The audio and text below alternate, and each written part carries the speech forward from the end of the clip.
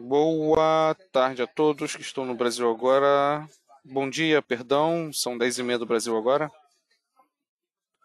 Quero agradecer a presença de todos vocês que estão agora online aqui conosco no petróleo, no, no webinário do Citigroup, logo mais para o petróleo.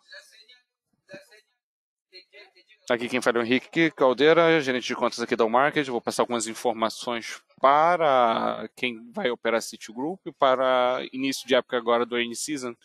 Seremos a nossa nova temporada aqui para as operações de divulgação de balanços das empresas americanas e, como sempre, começamos com os bancos.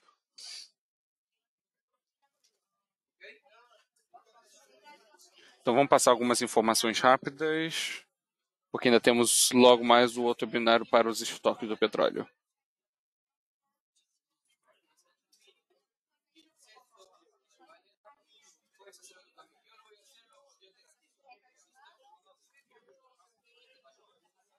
Bom, passar algumas informações rápidas sobre a empresa para os que não conhecem, para os que estão novos no mercado e ainda estão meio que se acostumando aí com a movimentação.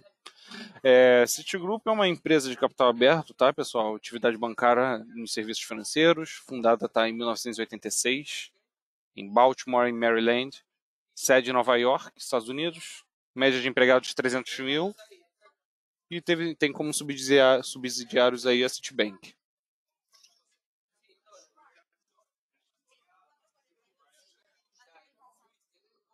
O caminho da Citigroup a seguir é tão importante para o Wall Street quanto os números. Citigroup receberá muita atenção quando divulgar os resultados financeiros do primeiro trimestre na quinta-feira, e não apenas porque Wall Street está ansiosa para o início da temporada de lucros. Este trimestre será primeiro desde que o presidente executivo Jane Fraser assumiu o comando do banco. Fraser é um veterano de 17 anos de Citigroup assumiu o primeiro lugar em 1 de março e tem um caminho desafiador pela frente. É, embora as condições né, para o setor bancário em geral tenham melhorado muito desde o ano passado, a economia está se recuperando e os bancos em geral absorveram o choque inicial das taxas de juros próximas a zero. É, Citigroup tem seus próprios problemas para resolver. Né? O banco foi agredido com uma ordem de consentimento e uma multa de 400 milhões de dólares por reguladores no ano passado por controles internos fracos no final do ano passado também. A Fraser tem a tarefa não apenas de conduzir o branco para fora da situação econômica mais ampla, mas também de fortalecer seus sistemas e gestão de risco. Analistas consultados pela FactSet esperam que o banco gere lucro de 2,60 por ação com receita de 18, mil, 18 bilhões, na verdade, de dólares.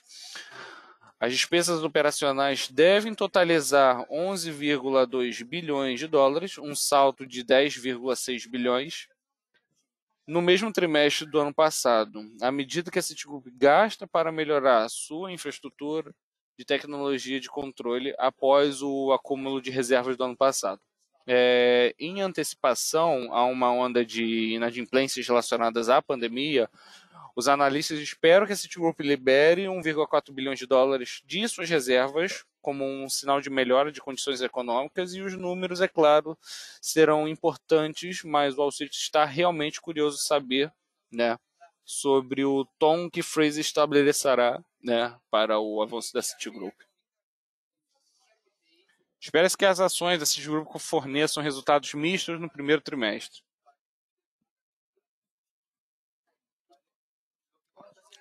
O Citigroup teve de divulgar seus resultados fiscais do primeiro trimestre de 2021 na quinta-feira, dia 15 de abril. Esperamos que a Citigroup sugere as, sugira as, as, é, estimativas de consenso para os lucros, enquanto as receitas provavelmente ficarão aquém das expectativas. O banco superou as estimativas do consenso para os lucros em cada um dos últimos três trimestres, principalmente devido às fortes vendas e negociações e receitas de banco de investimento, e uma queda nas provisões para perdas de crédito durante a terceira e quarto trimestre da empresa. É, a empresa também conseguiu igualar o nível da receita de 2019 com 2021. Aqui está um leve gráfico de como é que está a situação, 72 dólares a ação. Pequena movimentação aí de baixa após é, para abertura. É, em relação a essa parte, pessoal, né, isso foi impulsionado né, por um salto de médio de 13% IOI da divisão de clientes é, institucionais, principalmente das vendas de negociação de banco de investimento, que compensou também a queda nas receitas de core banking, principalmente devido a juros mais baixos e avaliar o ambiente, esperamos que a mesma tendência impulsione os resultados do primeiro trimestre do AF 2021 também. Nossa previsão indica que a avaliação da Citigroup está em torno de 78 dólares a ação, conforme vimos ali, teve uma pequena queda após o fechamento de mercado.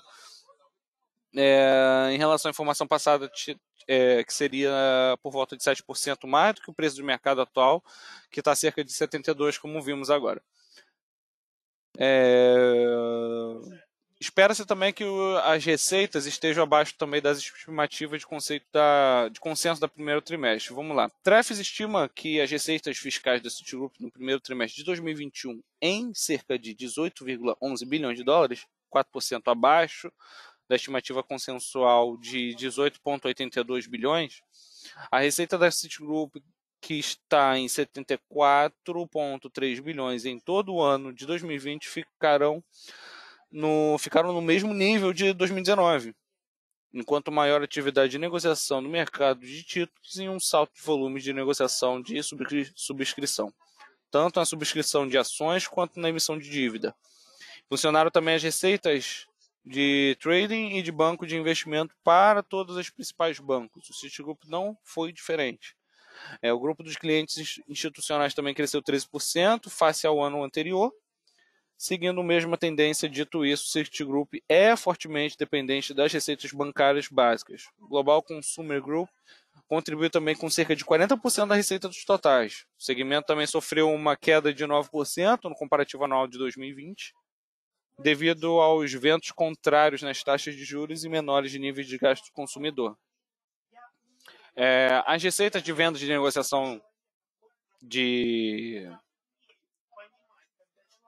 Perdão, só um segundo. É, de banco de investimento né, deverão se normalizar no tri, nos trimestres subsequentes, com melhora na economia, como já estamos vendo, grande movimentação em relação a isso. No entanto, é, é improvável que as taxas de juros tenham uma recuperação imediata. O próprio Fed decidiu manter também sua taxa básica perto de zero na reunião de 17 de março. Ambos os fatores provavelmente restringirão as perspectivas do Citigroup e da F 2021. Do lado da queda, né, que não podemos também deixar de lado, os níveis de gastos do consumidor devem se recuperar com a recuperação esperada da economia, ajudando seu faturamento e, no geral, as receitas do banco devem reduzir para 70,3 bilhões no AF 2021. É, essas foram as últimas informações e para quem já está antenado do mercado, podemos ver aqui que é, o mercado já abriu. Vamos lá abrindo as operações para Security Group, aproveitar o momento, como os, vocês podem ver, índices todos em alta, ações americanas estão em alta. Uma leve demonstração de como é que está a situação seria o gap de abertura da Tesla. Abrindo operações para compra, onde nós entramos na última reunião em 700 dólares Abrimos operações aí com 10.0, lucrando 750 mil dólares em uma operação e 575 mil dólares em outra operação. Tendo um rendimento total dessas únicas operações de 1 milhão 148. É, pessoal, vocês não podem deixar de estar nas operações para as empresas americanas. Vocês têm que estar.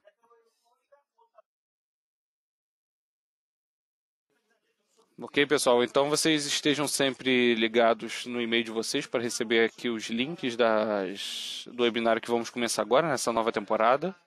Como sempre, começando sempre com os bancos, ok? Então vamos lá para Citigroup.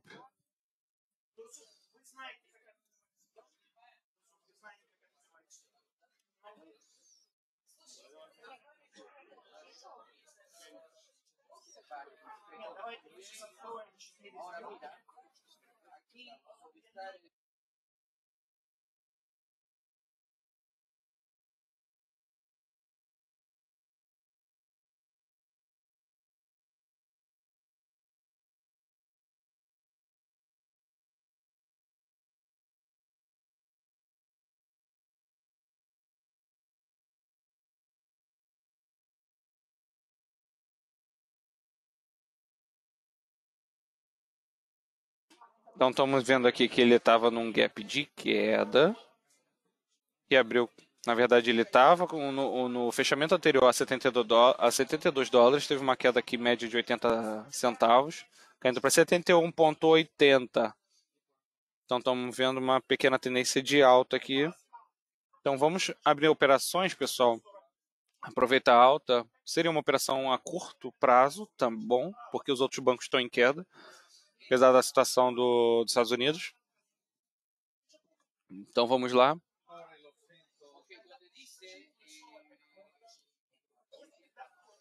Abrimos a operação de compra em 71,86 com take profit a 72,76, ok? Vamos modificar essa ordem. Lucro máximo, vamos lá, 72,76, ok, pessoal? Atingir esse primeiro ponto, com média para o segundo, para a segunda entrada aqui.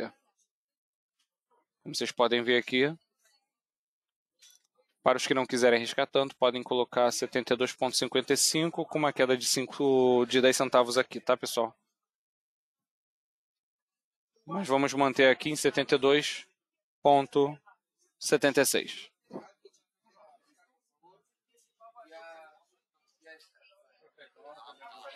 Para um segundo take profit, pessoal, é, para aqueles que quiserem arriscar um pouquinho mais, temos esse segundo ponto aqui. Ok? Em 73.09. Já venho avisando que é um pouquinho arriscado, mas para aqueles que querem aproveitar a alta, podem estar marcando aí em 73.11. Eu vou marcar aqui para vocês.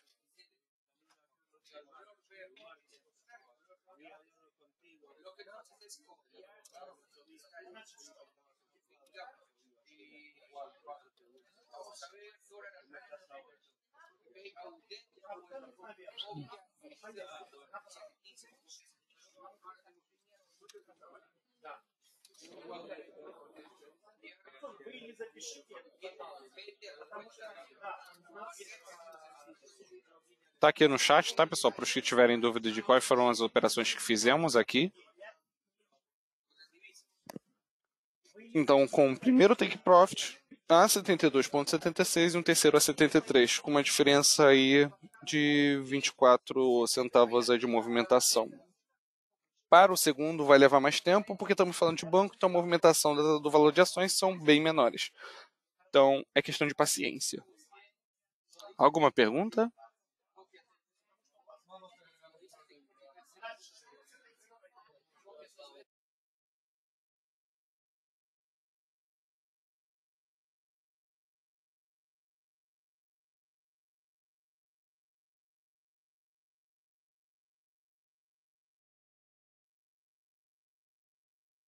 Como não temos dúvidas, vou finalizando por aqui. Quero agradecer a presença de todos vocês, a presença de quem esteve aqui no webinário, principalmente o pessoal também que estava no YouTube e aqui na conferência ao vivo junto com o pessoal da Markets. Tenham um ótimo, um ótimo dia, boas operações e estejam para o próximo webinário do petróleo, que vai começar em mais ou menos uns 40 minutos, ok, pessoal? Agradeço a presença de todos e tenham uma, um ótimo dia. Boas operações.